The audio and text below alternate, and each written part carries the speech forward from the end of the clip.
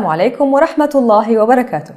أسعد الله أوقاتكم مشاهدينا الكرام وأهلا وسهلا بكم إلى حديث الصحافة لهذا اليوم. نبدأ من صحيفة الواشنطن بوست التي نشرت مقالا للسودار سان رجفان بعنوان الجندي الإسرائيلي المفقود والرحلات الجوية الملغاة ربما تحول ديناميكية صراع غزة جاء فيه. الجندي الإسرائيلي المفقود والرحلات الجوية الملغاة من وإلى إسرائيل منذ الثلاثاء. ربما تعزز موقف حماس وربما تحول ديناميكية الجهود الدبلوماسية الرامية إلى التوصل إلى وقف لإطلاق النار في الصراع الممتد منذ أكثر من أسبوعين في غزة. إذا كانت حماس أمسكت فعلا الجندي الإسرائيلي آرون شاول أو رفاته فإن ذلك سوف يوفر لحماس رافعة لصالح مطالبها السياسية. أو ربما تحرض إسرائيل على التوغل بصورة أعمق في هذا القطاع الساحلي.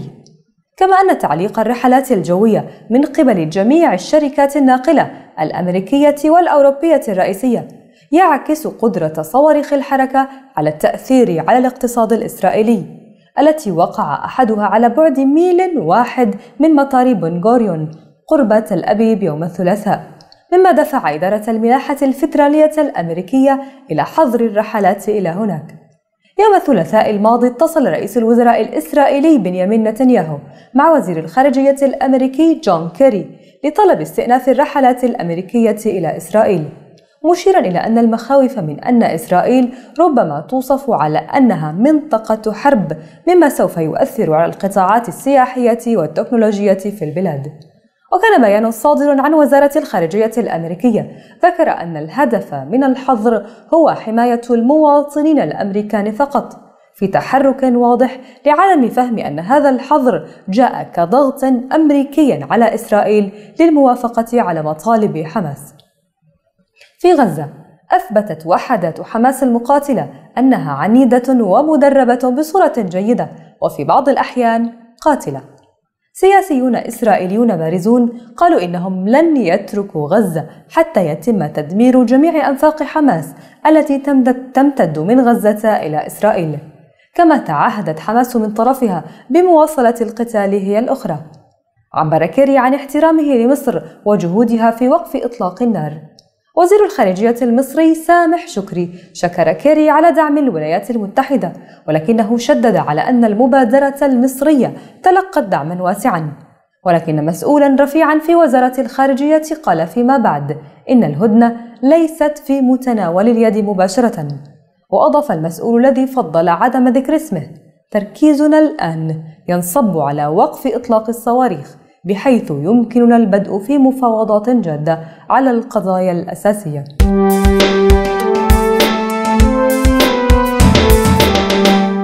نقرأ الآن مشاهدينا في صحيفة القدس العربي التي نشرت في رأي القدس بعنوان مجازر غزة أين العروبة؟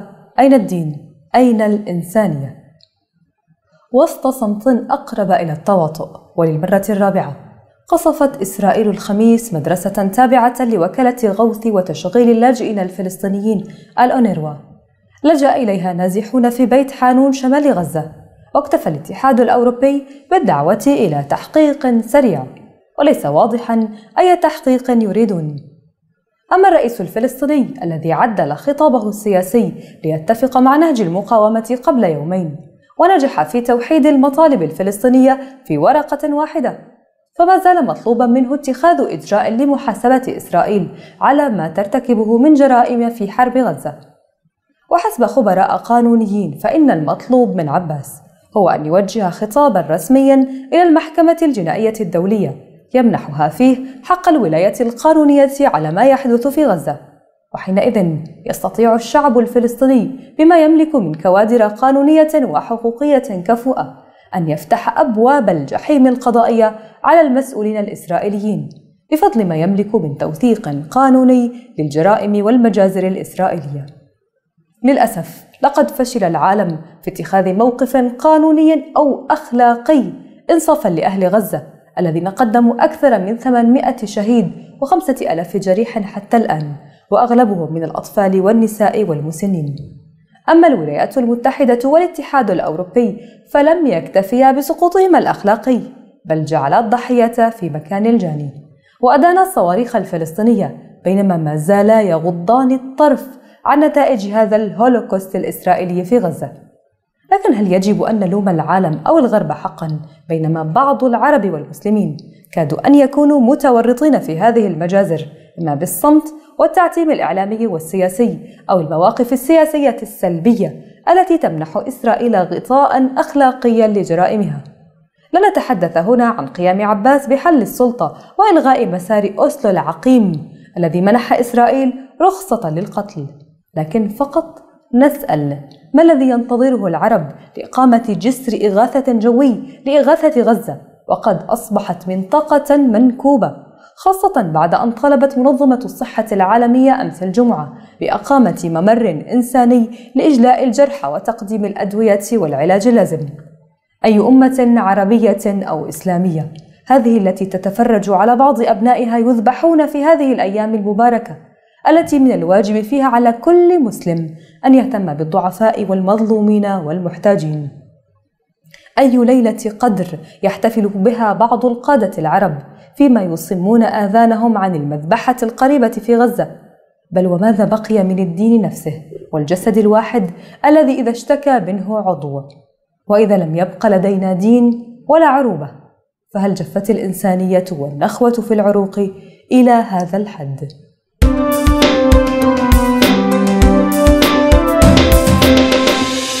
نواصل الآن مشاهدينا مع موقع العربي الجديد الذي نشر مقالا لمالك ونوس بعنوان سوري على الحدود. جاء فيه. لعملية وصول المواطن السوري إلى حدود بلاده وحدود البلدان الأخرى. قصة تذكر ببيت الشعر عن ظلم ذوي القربى لكنه معكوس لأن الظلم الذي يتعرض له المرء في وطنه من المقدار الذي تهور معه كل المظالم التي يواجهها في البلدان الأخرى. وتنطوي تلك العملية على عذبات تذهب أدراج الرياح إذ لا يقف عندها مراقب مار بين هذا الجحيم المنتشر على طول الأرض السورية وعرضها. ويعتبر توجه المواطن السوري إلى الحدود لعبورها خروجا من بلاده. أشبه بتوجه إلى المحكمة لسماعه النطق بالحكم عليه. فإن أغفلت الأجهزة الأمنية العاملة داخل البلاد أو أجلت استدعاءه أو احتجازه. الاحتجاز الذي ترى هي أسبابه موجبة ولا يراها هو كافية فإن المفارز المنتشرة على الحدود تتكفل بإبلاغه بذلك الحكم وتقوم مقامها بكل شيء. وعلى الحدود يتعرف كل مواطن إلى نفسه وإلى ما أخفت وقدمت يده بقصد أو بغير قصد طالما أن تلك الأجهزة تعرف عنه أكثر مما يعرف هو. ولطالما أجل كثيرون عبورهم الحدود خوفا من تلقيهم ذلك الحكم. خوف مرده هاجس أزلي يحمله كل مواطن في داخله فيلازمه طوال حياته. هاجس أنه مدان من دون أن يدري لماذا حتى يثبت العكس. فهو يظل يعتقد في سره أنه سيصبح يوما ما. نزيل أقبية تلك الأجهزة لسبب لا يعرفه. وإن قدر للسوري عبور حدود بلاده والوصول إلى حدود البلدان الأخرى فإن جنسيته تصبح عندها اتهاما. يوجب التدقيق بحامله لاستجلائه والإحاطة به ويصبح بذلك موضع تفرس وقياس طوال الوقت الذي يلزم لإنهاء إجراءات التدقيق بجواز السفر وتأشيرة الدخول وهو وقت يطول أكثر في حالته. في مطارات أخرى يرمقونك كأنك قنبلة موقوتة ستنفجر بهم في أي لحظة أو كأنك وباء يخشون الاقتراب منك خوف العدوى وتنزل الأسئلة عليك يمطرونك بها كأنك في غرفة استجواب لماذا اخترت بلادنا؟ كيف قدر لك الحصول على سمة الدخول؟ كم ستمضي لدينا؟ إن قيد لك الحصول على جنسية بلدنا والبقاء فيها هل ستفعل؟ تسألني زوجتي لماذا يفعلون بنا هكذا؟ ولماذا نحن من بين كل البشر؟ أجيبها لأن كل سبل الدنيا قد سدت في وجهنا نحن السوريين ولأننا أصبحنا كالصراصير يتعجبون كيف نجونا من آخر عملية مكافحة لنا لماذا بقينا على قيد الحياة حتى الآن وكيف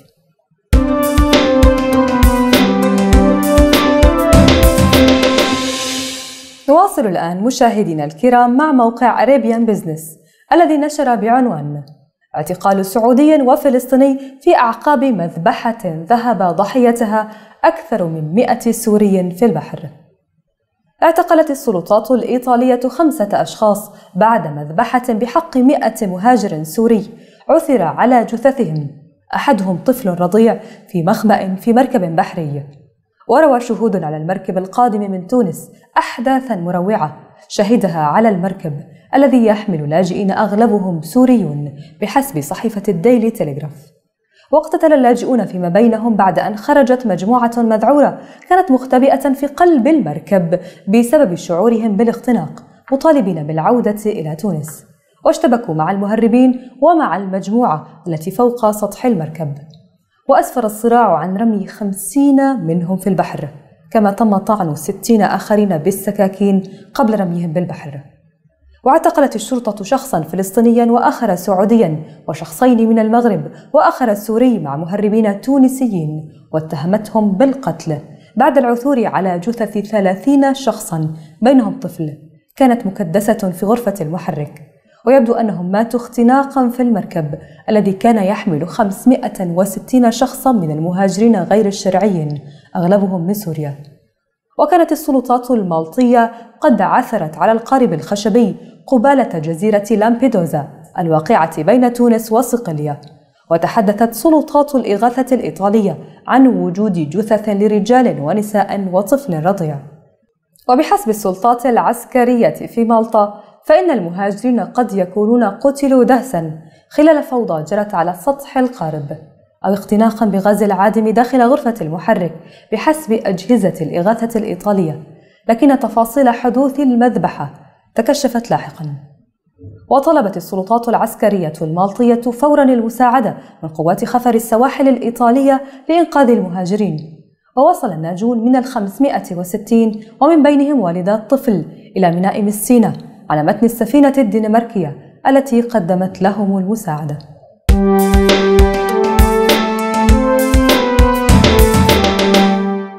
ننتقل الآن مشاهدينا إلى صحيفة صباح التركية التي نشرت تحت عنوان محاصرة الموازي من سبع جهات جاء فيه.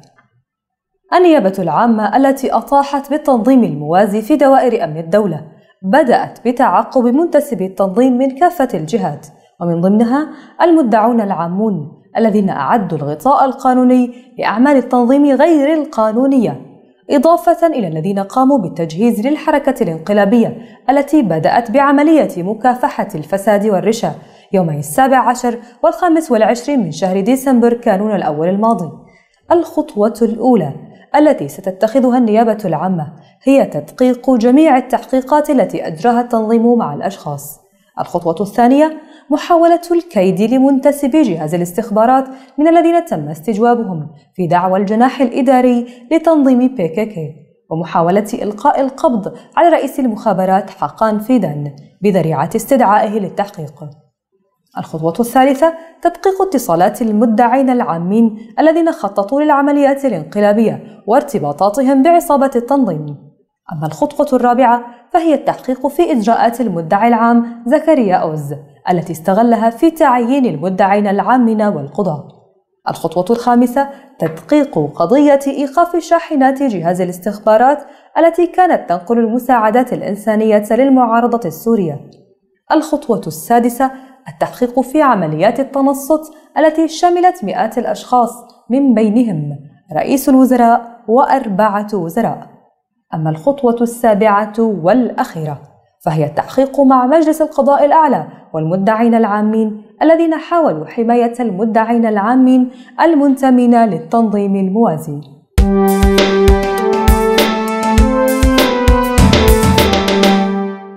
نقرأ الآن في وكالة أنباء الأناضول التي نشرت تحت عنوان: الجبهة الإسلامية تسعى للتوافق من أجل قتال المفسدين شمال سوريا جاء فيه.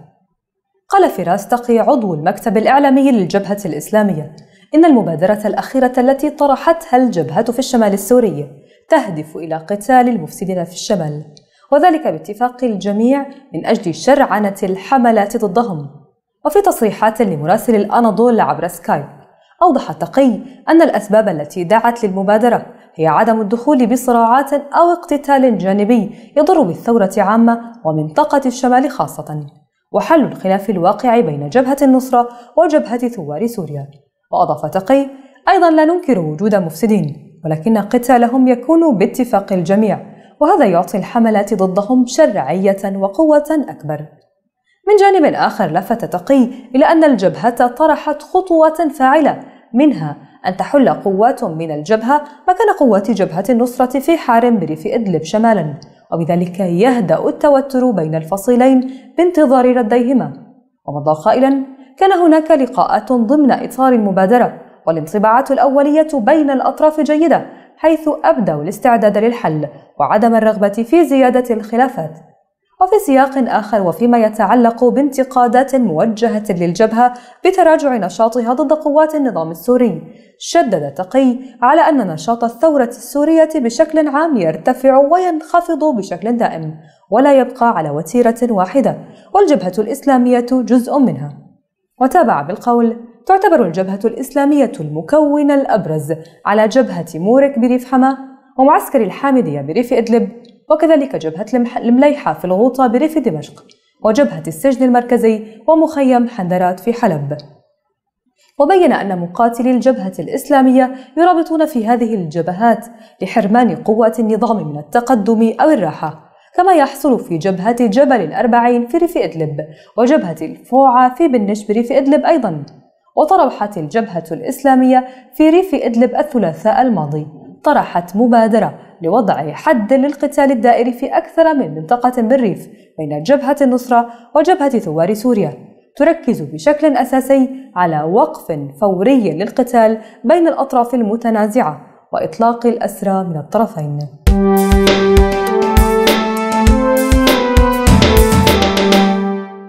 نصل مشاهدينا الكرام إلى آخر مقالاتنا في حلقة اليوم حيث نشر موقع سراج بريس مقالا لعمار البكور بعنوان سيناريو حمص لن يتكرر في حلب والأسباب بدأت وسائل إعلام النظام تروج بالآونة الأخيرة إلى محاصرة محتملة لأحياء مدينة حلب المحررة عبر تطويق المدينة من الجهات الأربع.